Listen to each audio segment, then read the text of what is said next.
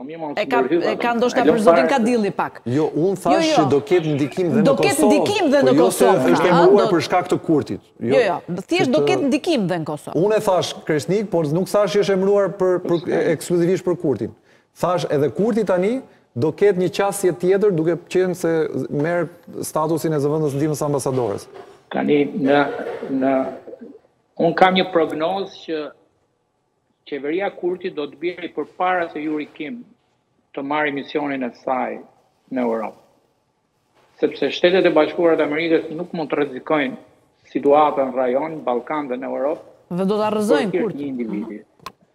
Do ta rrëzojnë përpara se Yuri Kim të marri misionin. Po mund të mund të zgjidhet, mund të zgjidhet prapë, ta votojnë prapë, duke qenë se përqindjet i ka të larta dhe mbas kësaj përplasje. Unë mendoj që fundi i Albin Kurtit do të jetë më i shpejtë dhe më i rëndë se i Berishës. Sepse edhe Kosova merr një pozicion krejt tjetër të rëndësishëm gjeopolitik për Amerikën se sa Shqipëria.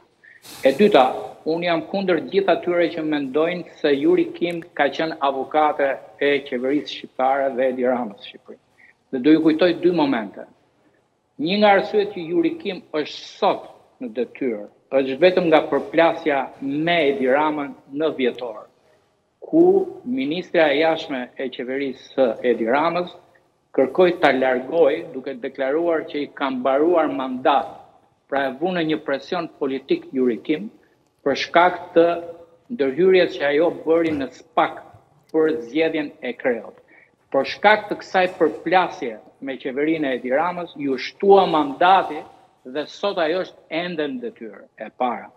E dyta, për dijeninë e çdokujt, ajo që ka bërë Yuri Kim me Burgosjen e ministrit të Brendshëm të Shqipërisë, Saimir Tahiri nuk e ka bërë asnjë ambasador amerikan në Europë.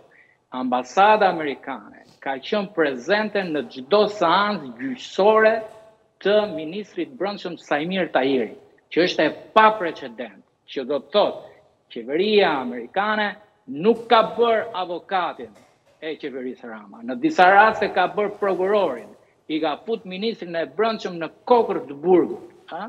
Tani, sigurisht, mos mendoni që ë një një një pushtet amerikan, ë, do vërë në pozita gjithë qeverinë e një vendi, sepse kudo ata e kanë praktikë diplomatike që bashkëpunojnë me qeveritë, kushdo qofshin ato, kanë bashkëpunu me qeverinë Meksi, kanë bashkëpunu me qeverinë Berisha, kanë bashkëpunu me qeverinë Nano, kur kanë qenë në pushtet, dhe janë sjellë ndryshe kur ata kanë rënë nga pushteti dhe jo vetëm